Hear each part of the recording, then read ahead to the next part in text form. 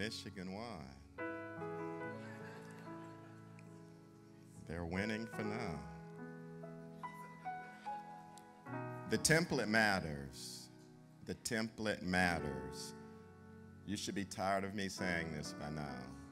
But the template matters. If you are baking Christmas cookies that you want to come out looking like Christmas trees, but if your cookie pan shaped like Frosty the Snowman, I don't care how much you pray.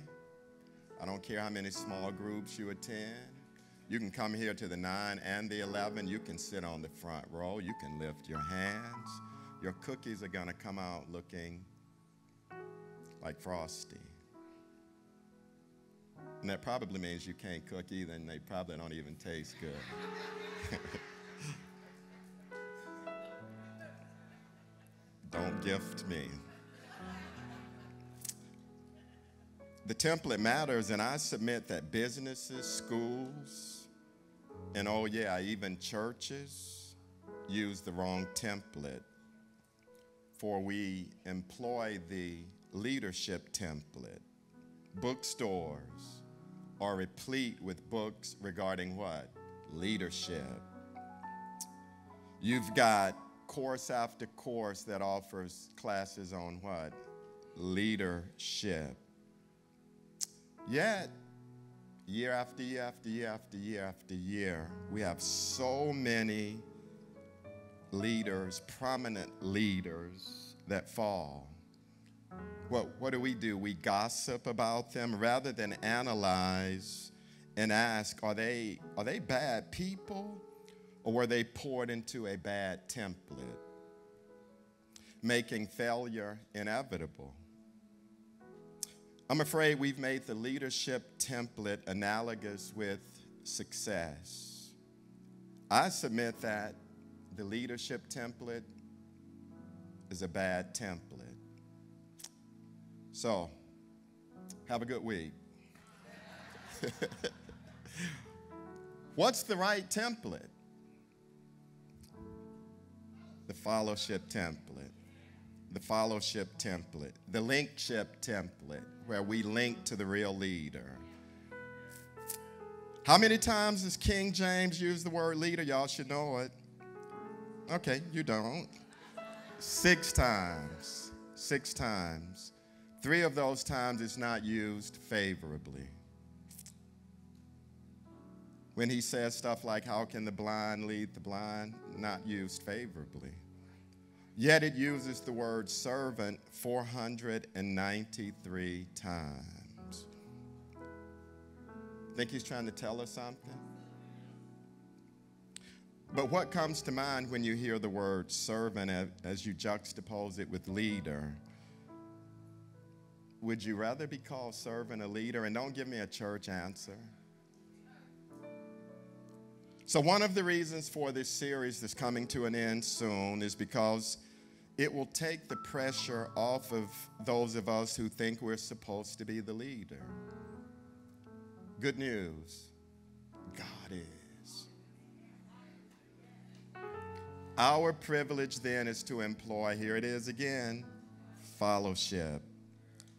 Our, our privilege is to hear, to pray, and to follow him. The word disciple, you hear it, it denotes fellowship. Jesus doesn't walk around and say, hey, hey, leave your tax booth and I'm gonna make you a good leader. Hey, leave your fishing business. I got a leadership course going on. He says, come and follow me. So we might not eliminate the term leadership during this series. I actually hope we do, but I hope we at least diminish its use and magnify the word fellowship. The goal of this series is to have a church that's leaving, leading, and embracing following God. With that being said, I can't think of a better person to preach today than uh, Rick Dunn. Hey, y'all shouldn't be clapping. Rick Dunn, uh, really is my mentor. He was my favorite professor in college a long time ago, 1988. Uh, mm, I won't say when I graduated, but I did graduate. Uh, he was my favorite professor then. He modeled all of this stuff that I'm teaching discipleship, mentorship, servanthood. He modeled it all. Uh, I could tell you about his church with thousands of people that attend. I don't, I don't think I'm going to do that. I could talk about the degrees that he has undergrad, master's level, doctoral. I'm not going to do that.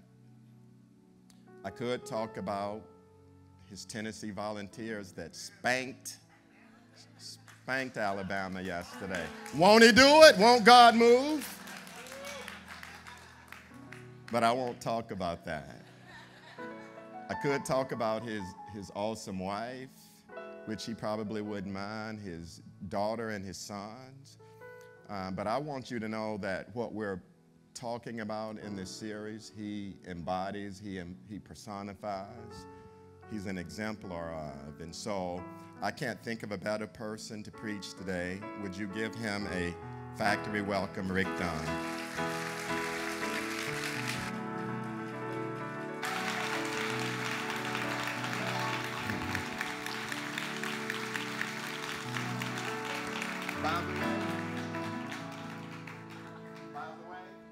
Oh, that you're going to get out of church earlier today than you wanted to do.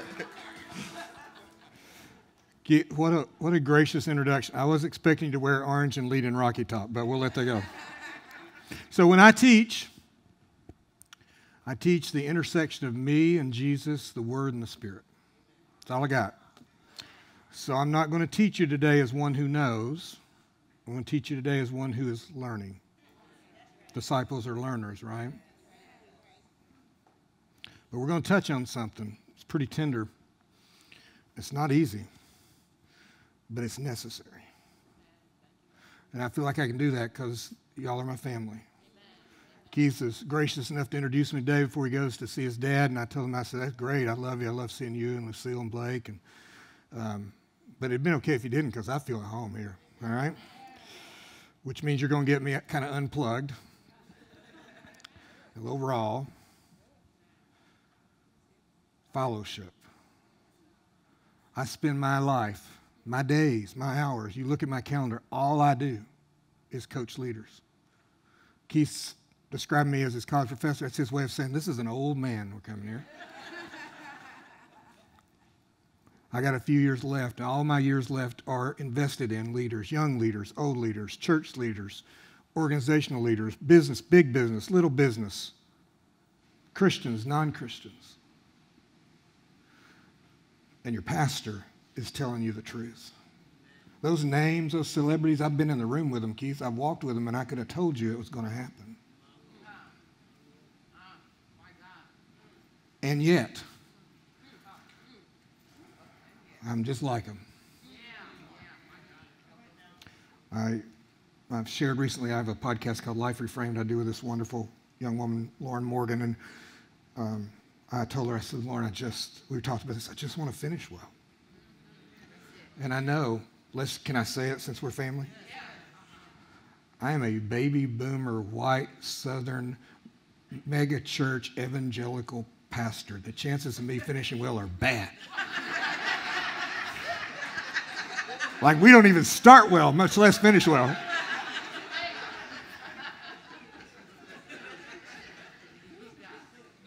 So the only thing I've found to protect me from myself and from people's expectations and their conversations and their introductions is this. And I'm going to ask you to do this at the end. I'm going to ask you to pray with me at the end. I'm going to get you there because by the end you're going to need this. I'm just telling you, right? I'm going to pray that you'll join me and we're going to take our, our head and we're going to bury it in the chest of our Father and we're going to listen for the heartbeat. It's a heartbeat of grace, it's a heartbeat of mercy, it is a heartbeat of justice, it is a heartbeat of hope, it is a heartbeat of truth, it is a heartbeat of love.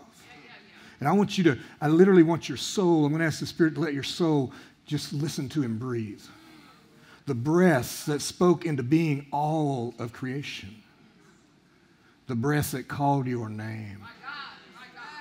And I want you to hear on his lips the word, my beloved, my beloved daughter, my beloved son. Because without that love, you won't follow.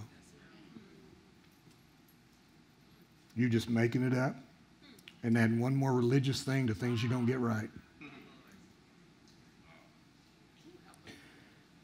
So Jesus has been talking to his disciples and explaining some things like he often did towards the end of his life on earth. And he starts telling them, hey, I'm going to die and this is what's going to look like. And they're just all looking at him like, does anybody have any idea what he's talking about?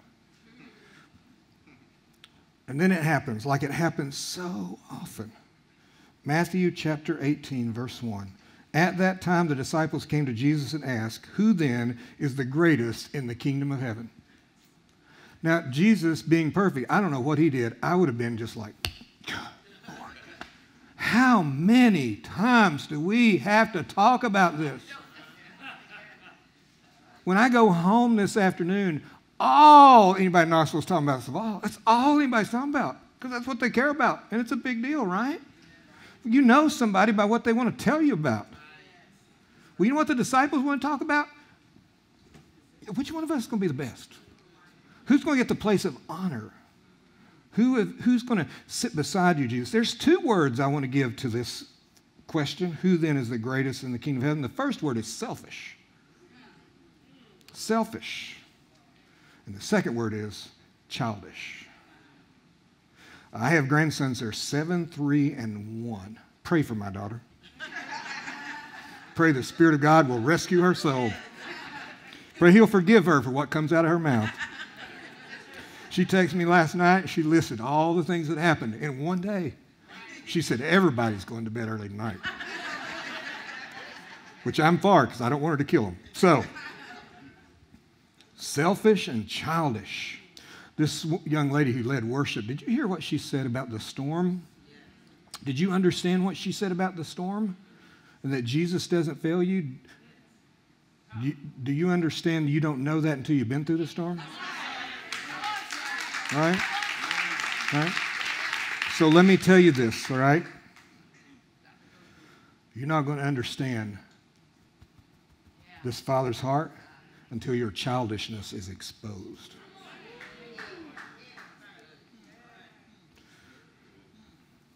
Verse 2, he called a little child to him and placed the child among them. This is, I love this. Jesus is like, knuckleheads. I just like, what in the world? I've told him, I've t- I know what I'll do. So he brings, he brings a child into their childish behavior. And he says, Truly I tell you, unless you change Everybody understand the word? Here's what the Greek word change means change. it can't continue to be so and become like little children. You will never inherit the kingdom of heaven.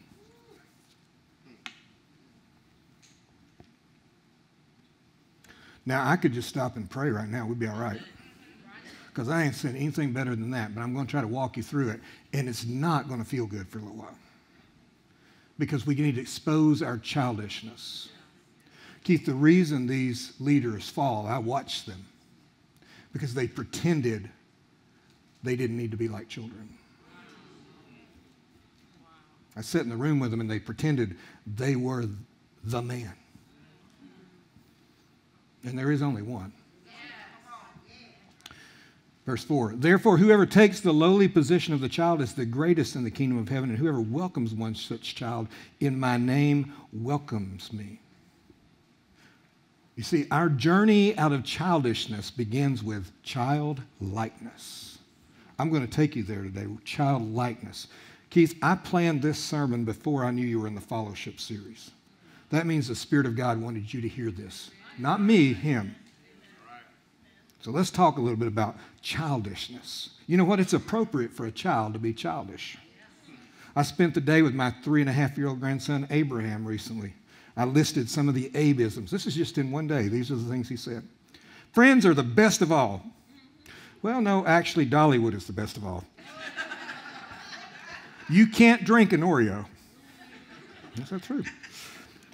I don't feel loved because my brother James has a desk and I don't. This one, this is a good proverb. The yuckiest things are the best for your body.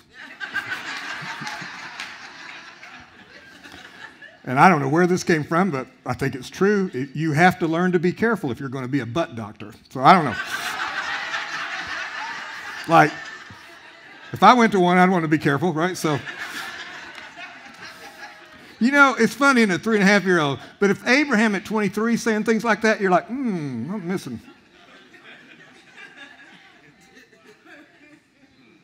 But let me tell you this when it comes to mental, emotional, social, relational, and spiritual maturity, age is no guarantee of maturity. And Jesus' remedy for my childishness is childlikeness. He says, he brings a child, he said, Rick, like if you don't understand this, if you can't be like this child, if you can't change and be like this child, Rick, whatever you taste of the kingdom of heaven is going to be tasteless. Whatever you experience in the kingdom of heaven is going to be thin. It's going to be a veneer. It's not going to be real and deep. Childlikeness, if you're taking notes or you wanted to put this in your brain, childlikeness is where we turn toward the Father for all of life. All of life.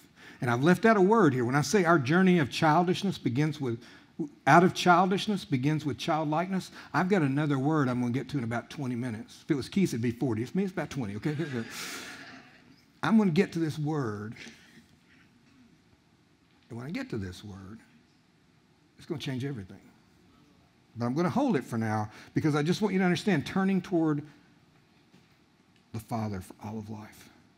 My, my boys, my seven and three year old, love the pool. And when, when I'm with them at the pool, and it's me and my wife and my daughter and my, my son in law, when they're hurt, when they do something spectacular, jump, do a flip, when they need a referee every 30 seconds. When they need boundaries to not do things they think they can do, they can't do. When they need uh, swimmies so they can do some things they want to do, they don't turn to me, they turn to their mom and dad. Naturally, instinctively, immediately. Now, if they're not there, they'll turn to me. But they're going to turn there. And our spiritual maturity, our authentic spiritual strength comes from being like that child that says, Hey, I'm hurt. Hey, Father, I'm hurt. Hey, Father, I need boundaries. Hey, Father, I, I need protection. Hey, Father, I need a referee. Hey, Father, I need you to protect me from me. Hey, Father, I need you to protect me from them. Hey, Father, I need you. I need you. My own journey of childishness, out of childishness, has been a bit rough. Um, I was, it's about the fall, and, um, and I went through this season, and the Lord started just taking me apart. I went to the chair of the elder board, and I said, Hey, I just want you to know I'm not okay. I, I can't, I'm not blaming my wife, my church, or anything. I'm just not, I'm not okay as a husband. I'm not okay as a dad. I'm not okay as a pastor. I'm not okay as, I'm just not okay. So I began to try to sort out what more of that was. And God began to say, hey, I, I, you got some childishness in you. You know, they say in war, when a uh, soldier confronts the enemy and gets afraid, the soldier immediately defaults to how they were trained. Does that make sense to you? The template, right? That you that you're to. Well, you know where your template came from. Your family. And your culture. And you got some. Hopefully, most of you, most people got some good things from their family. But we all got some things that are childish. I told my kids, I started out, I used to write stuff on parenting. And then I had my second child, and I quit writing. After my first child, I was a, a good dad. After my second child, I was lost. Yeah, Jesus, Lord Jesus. He's doing okay. He's doing okay today. Um, I, I, my parenting really, I lowered the bar. At first, I was like, I'm going to be the best parent and have the best kids. And then I'm like, I told my kids, I said, look, I got two things I can offer you Jesus and a college degree so you can pay for your counseling. That's all I got for you, right? so I began to realize that things happening in my life were from the way I had grown up and the way I had engaged the, the template Keith. By the way, my church loves Keith more than me as a teacher. Just, can I just say that? Y'all are blessed. Listen to the man. Listen to the man. Okay?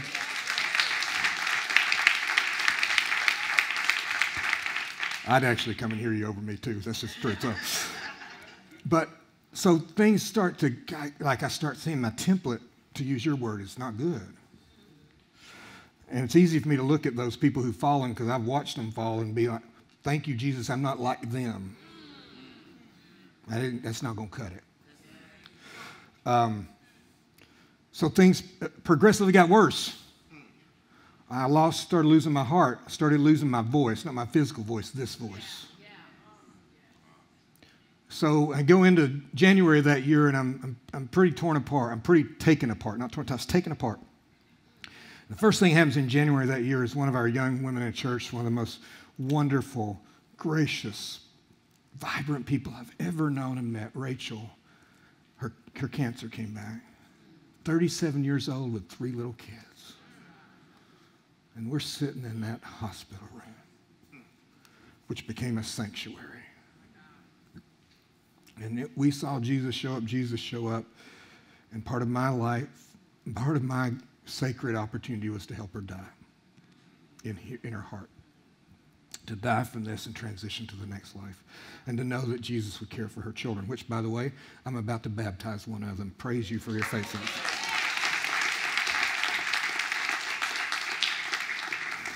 Rachel died March the 1st, and I'll be honest with you, March the 2nd, I was shot. I'd been through my own journey. I'd been in that hospital room every, almost every day for 30 something days. I'd walked with her father through the loss of his daughter. I mean, it just, I was worn out. March the 2nd, 2020. You with me? I wasn't even starting to be broken apart. So I share with you, as one who is learning what it means to be a child and who has been lovingly disciplined for his extensive childishness. Who, when life got hard, I reverted to my training template. Now, you ready to move through this? We're going to need Jesus. But I'm going to give you a vision for maturity. Because the vision for maturity will help us understand what the need is. And then we're going to turn to Jesus and then we're going to bear our head in the Father's heart, and He'll do all the work that needs to be done. 1 Corinthians 13, 11. When I was a child, I talked like a child. I, I thought like a child. I re- reasoned like a child. When I became a man, I put the ways of childhood behind me. Imagine for me a world where men and women put the ways of childhood behind them. Because if 2020 through 2022 taught us anything, we got some childishness. American church got some childishness. Our, I, look, I'll tell you the truth. I, I, I hadn't been to Georgia for a while, but just watching the game yesterday, y'all's politics is nasty. It's nasty everywhere, but Georgia, because there's so much on the line, right? It's just, whoo, childish. That's not our problem. People running around just deciding what they want, what they do, and mad if you don't let them do it. It's not a problem. A culture that is just so all about power and wealth and uh, consumption. It's not our problem. Our problem is the people of God are childish and don't offer an alternative, including me. It's in me too. I need Jesus. I want to become that mature person. In Ephesians chapter 4, a passage all about disciple making, Paul gives us a, a vision for this idea of moving out of childishness. He says in, in 414, then we will no longer be infants, tossed back and forth by the waves and blown here and there by every wind of teaching, by the cunning and craftiness of people in their deceitful scheming. Instead, speaking the truth in love, we will grow to become in every respect the mature body of Him who is the head, that is, Christ. When I go before Jesus, He will not ask me a question about my resume. He won't critique my teaching. He won't evaluate uh, my possessions. You know what he'll do? He said, Hey, I entrusted you to be a pastor. Did you lead people to maturity? By maturing? Because that's actually what I ask you to do. From him, the whole body, joined and held together by every supporting ligament, grows and builds itself up in love as each part does its work, to equip his people for works of service, so that the body of Christ may be built up until we all reach unity in the faith, in the knowledge, in the Son of God, and become what? Mature, attaining to the whole measure of the fullness of Christ. Fellowship is not just a cute word it's not just this idea Keith thought of because he wanted another hat. Although you look good in it. You look good. He's always looking good. That's just something I know. He's always looking good. Fellowship is the path to maturity. But people aren't avoiding the path because they think it's necessarily a bad idea. They're avoiding the path because everybody, by nature, resists maturity. It's in ourselves because our forefathers and foremothers, specifically Adam and Eve, chose to act childish instead of childlike. They got tricked into childishness. So here's some things this passage gives us. I'm going to go through these pretty quickly, but I think they're worth thinking about in our lives. What does maturity look like? Well, maturity always looks like adult responsibility taking. Yeah, I can tell you the difference in somebody's mature or not or not they take responsibility to own and steward their own lives, or if they're blaming everybody else, or looking to somebody else to take care of them. My seven, three, and one year old grandsons, they need to be taken care of. My 25 and 27 year old sons, they off the payroll. the benefits have been terminated. I love them. I once spoke to a group of young adults about anxiety, and I said, You know, you may not think of this, but your parents have anxiety. So I talked about what it's like to raise uh, young adult children. Here's the description. No, no, no offense to uh, Blake or any young adults in here, okay? My favorite people in the world. But this is what parents do, and, and we have to learn not to do this. This is about parents, not about young adults. If you want to, to uh, get your young adult child to get do what you want to do, let me suggest something for you grab your remote control, go to your neighbor's house five houses away, and try to change the channel. And when your thumb wears out or your battery's dead, you'll understand what it's like parenting a young adult.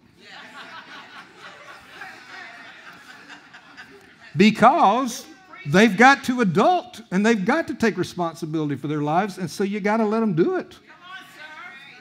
I don't like it. I can come home, but I don't like it. I like, I like being in control.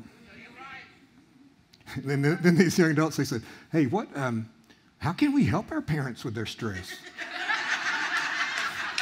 I said, get a job. That's like, that's it. Woo! Set us free.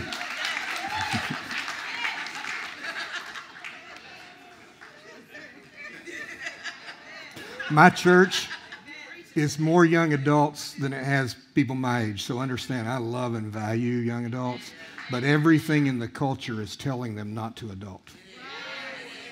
Is the church modeling what an adult looks like that they'd want to be?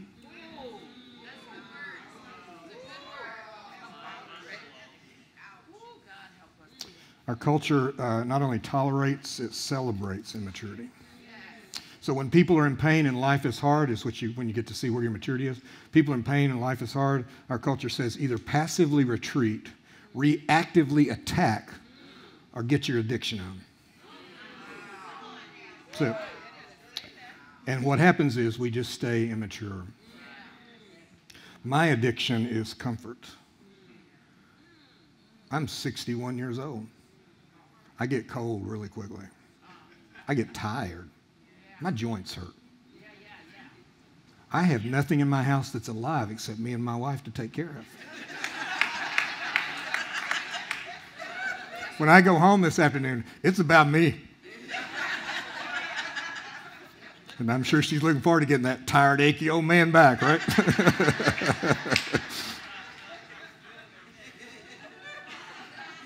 we got to take responsibility in the church to be God's people and in our work, in our relationships. And we got to help each other because we all sometimes get afraid and go back to that childishness. And what you do in childishness is different than what I do, but we need each other. Here's another sign of maturity this passage gives us is relationships formed by truth in love. That means when we're in conflict, we don't mask the truth and we don't abandon love. And if we don't do hard, if you say, I'm not doing hard, which, by the way, 2020, 2022, some people just say, I'm not doing hard. I'm done. I'm pretty much, you know, church is hard. I'm not doing hard.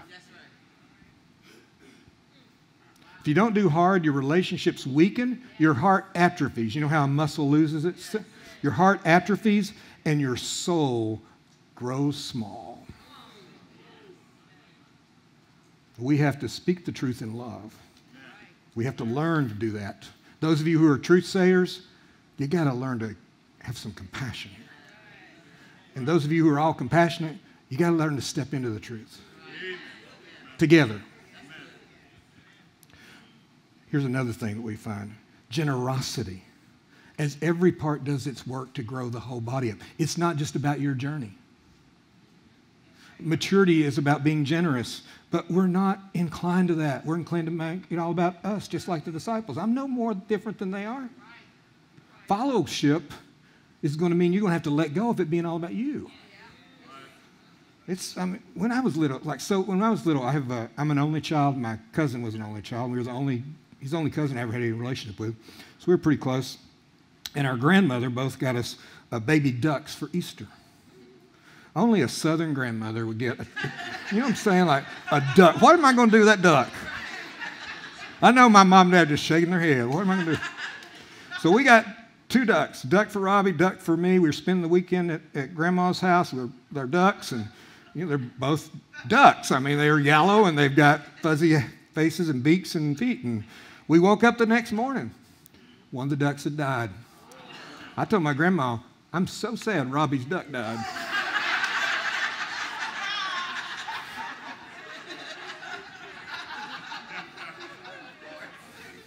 You know what I'm saying. Mind my me, mind my me, mind my me. Gotta understand that when they're three and four. 23, 34, 44. We need to be stepping out of that. Church isn't about you, it's about Jesus. Your life isn't yours, you've been bought with a price. That person sitting next to you, it drives you crazy, well, you drive them crazy too. And you can ask them if you don't believe it. So, that's out. All right. Here's another thing we find. I've got just a couple more of these. I won't go on all day, but they're important. Fullness and grace and truth. And We talk about there's a there's a we like enter into. We think of here's grace and here's truth, and let's balance them. Right? 50 grace, 50. Ain't 50 grace, 50 truth. It's 100 grace, 100 truth. You can't separate it in Jesus. We can't imagine they're actually the same thing. They're the heart and character of who God is. We got to learn how to do that. It's, It's not easy in marriage, I'll tell you that. Now, for those of y'all who keep up with these things, my wife is what's called an eight on the Enneagram. For those of you who don't know what that is, that is, means she is on the move, straight at you, telling you the truth every moment. She's also an external processor. We will celebrate our 40th anniversary in May. Amen. 40 years, and I've never said, How do you feel?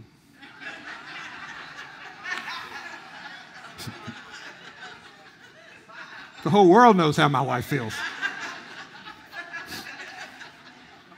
we, just, we just did a teaching on marriage at our church, and, and uh, they used the video clip of her because she's, she's the one you want to hear. She's amazing. And so they use this video clip of her, and, and in it, her eyes are big, and she's just being so adamant. And she said, Are, are my eyes like that? I'm like, What? Do you know how little sleep I've gotten because of those eyes? I'm a nine, I'm a nine, which on the Enneagram is the, it's a personality style. It's in, I'm empathic. I, I listen first. I don't come towards you. I kind of allow a lot of space around me. The scriptures say, "Don't let your sun, don't let the sun go down your anger." My wife should let me have it. 10:35 p.m. then she rolls over and goes to sleep. Sun not going down on her anger. I'm sitting like this the rest of the night. 4 a.m. I'm thinking, good grief, do I need to get an attorney? What are we going to do here? So.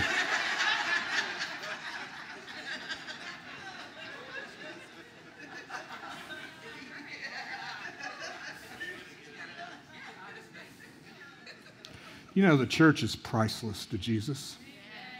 He loved her and gave himself up for her.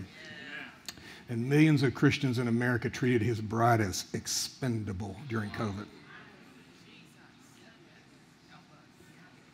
Wouldn't do the work. Wouldn't sit with, I mean, I remember one guy, he was so mad at me, and he, like, he, we were not on the same page. But he sent me an email of respect and question. I said, let's meet together. And we left that meeting still not in agreement. But I felt loved. And he felt loved. He didn't come back to my church for a long time because he just couldn't agree with me. That's okay. But he came back when it was time.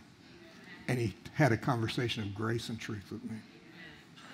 Okay, a couple more. We'll be here all day. A couple more. We can't be here all day. Here's one. If, Hebrews chapter 5. Hebrews uh, chapter 5, verse 13. Anyone who lives on milk, being still an infant, is not acquainted with the teaching about righteousness, but solid food is for the mature, who by constant use have trained themselves to distinguish good from evil. One of the signs of maturity is a discernment of the good and righteous way. It's a confusing world out there. And anybody who gives you simple reductionistic answers, whether it's because they want to get elected or because they want your money or because they want you to like them, is not telling you the truth. There are no simple answers. There's a need for deep discernment, mature discernment. Where would you go for it? We should be able to come to the people of God who are learning together to train these senses by following. One more. Ecclesiastes 7 8. The end of a matter is better than its beginning, and patience is better than pride. Mm. I'm a writer, I'm a leader, I'm a husband, I'm a father. Finishing is so much harder than starting.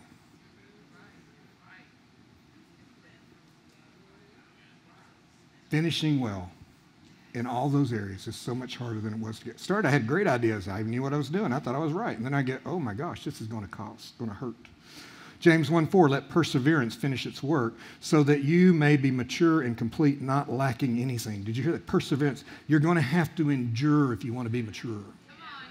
Endure to become mature. Always. It's hard. This is just hard work. I've sat with pastors all over the country. I mentor pastors all over the country. I cannot tell you how many of them not your pastor, how many of them I've had to talk off the ledge of quitting. They're just tired. And I'm sure you're tired too. And when I see another election cycle coming, I just like,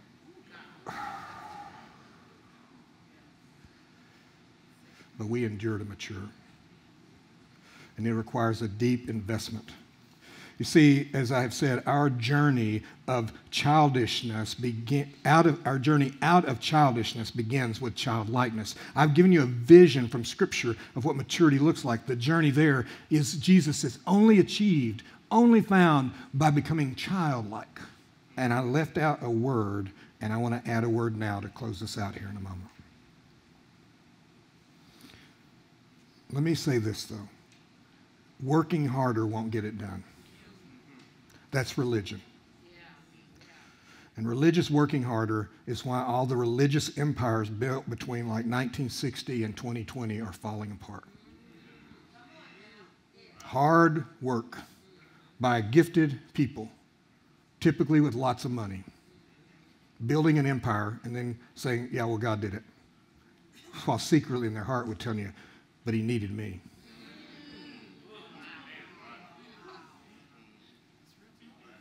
Now, we have to endure.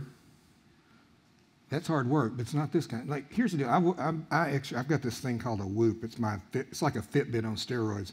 Every day it tells me you're not doing enough. I'm beating it right now, though. I told you before. Every time it sets a bar, I'm like, I got you. I take you. I, I raise you a level, right? So, I'm all about hard work. But if I do all the hard, and I do work out hard, if I do that hard work, and then I go to grab me six cheese Krystals and a Chick fil A chocolate shake, things are going to break down. So it, it matters what's the source of your hard work and endurance. Is it like we sang, the rock that we build our lives upon? Is it His Spirit that fuels us? Are we using junk food? Whatever it might be, even if it's got a religious name on it, it's just junk food. Junk food for the soul. The word, the spirit, and the body are the nourishment. Look at these passages. First of all, from uh, Matthew 4. Jesus said to him, Away from me, Satan, for it is written, Worship the Lord your God and serve him only. Jesus endured 40 days in that wilderness. He went without food. He went without, by the time it was over, the angels had to come and pick him up off of the ground. He was so depleted, the angels had to pick him up off the ground, right? And what did he do the whole time when Satan came in and said, Hey, you know, you could get out of this? Jesus says, That would be childish. I'm childlike. I follow the Father. You with me? Do you know who is the most perfectly childlike human being ever? The King of glory.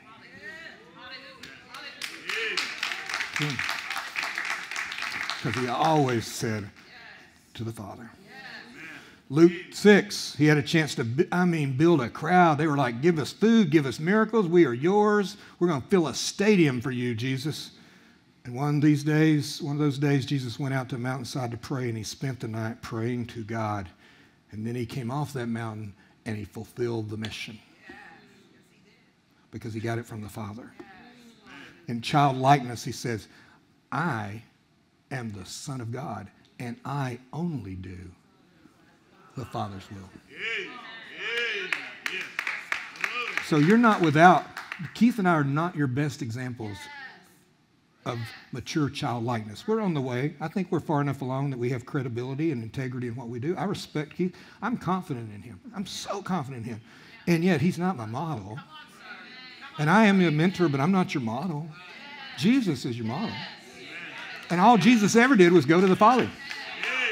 Look at this John 17, 1. Father, the hour has come. Glorify your Son, that your Son may, be, may glorify you. And again, by the end, he's so depleted. He sweat drops of blood.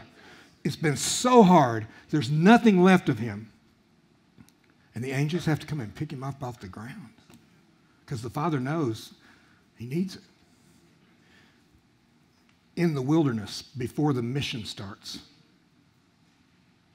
He comes to the end of himself and presses into the Father. In the garden, before the final horrific end of the mission is achieved, he comes to the end himself and leans into the Father. Not my will, your will be done. You see, here's the thing our journey out of childishness begins with Christ like childlikeness. You are never more mature than when you're leaning into the Father. And you're never more immature than when you manufacture a false maturity apart from Him. So if you don't like how the world is heading, change and be like a child.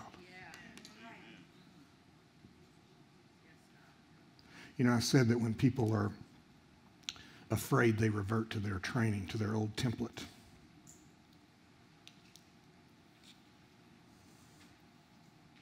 Do you know why they do that? Because they don't know what to do. And they don't know how to survive, and they feel like, like they're, they're about to get killed, or they're about to get overwhelmed, or get taken out, they're about to fail. That was my thing. God had to tell me, you're so, you cannot get past yourself of thinking one day you're going to fail. You can't, I couldn't build a resume big enough to convince myself that I wasn't going to fail. And I realized the harder I worked to finish well, the less likely I was going to finish well. So he took me apart. And you know what he said? Perfect love casts out fear.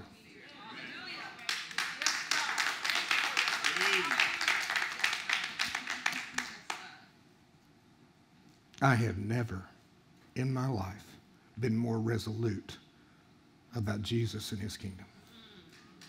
I have never been more resolute about the church because I've heard his heartbeat, because I've felt his breath, and I've heard him not just call me beloved, but you. And the person sitting beside you. And he says, You know, if you'll come to me, if you'll come to me, I'll cast out that fear. And I'll teach you how to rest. And how to work hard from a place of rest, how to mature from a place of childlikeness. I'll teach you if you link to me, as Keith says, if you connect to me.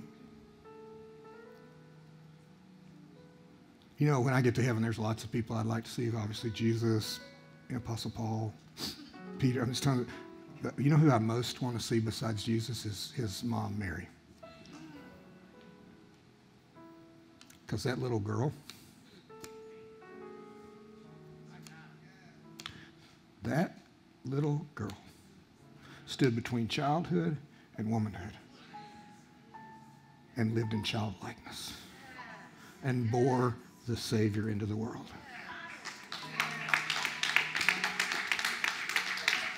That little girl's a powerful woman.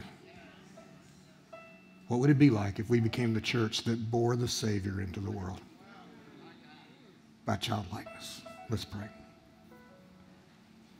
You, you spend time with your Father however you do, but in my world, I'm imagining him sitting right behind me, and, I, and I'm going to, in my heart, I'm going to go crawl up in his lap.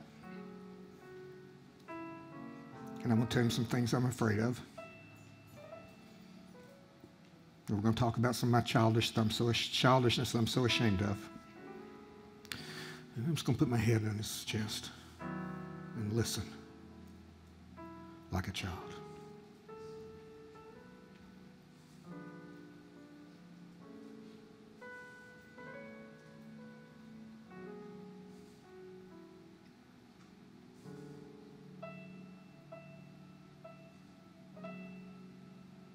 Let go of the fear. That thing you feel threatened by, is not a threat, it's a gift for you to sink your head deeper into his chest. That failure, that immaturity that you felt ashamed of when I talked today, is your invitation to the throne of grace by which you will receive mercy and a Savior who say, I get it. I've felt that temptation. Now lean into my strength.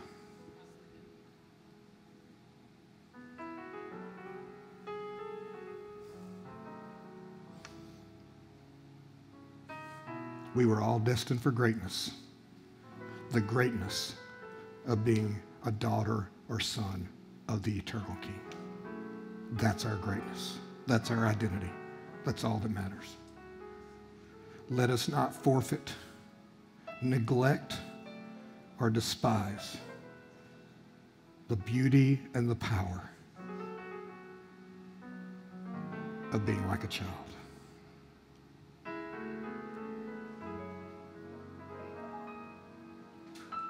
Father, have your way with us. Your word is true. Your spirit guides us into truth. And all I've tried to do is just put up a couple of signposts to, to point in that direction. You do the work, it's your work. And we will surrender to that work. To the praise of your glorious grace, we pray. Amen. Thank you all, all uh, again for the privilege of being with you.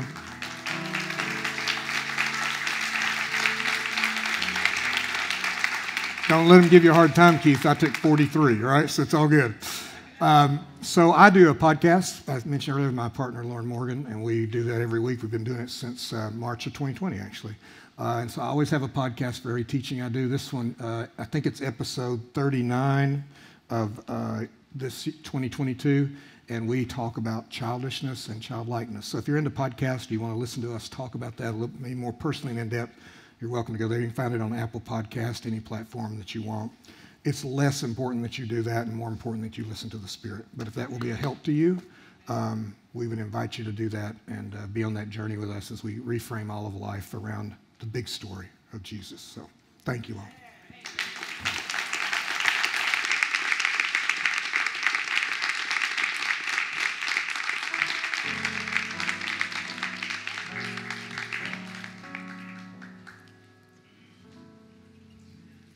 Let's just keep leaning into the, the heart of God. That's one of the things that I'll take from this. Just keep leaning into Him. We will be starting another series in, in two weeks.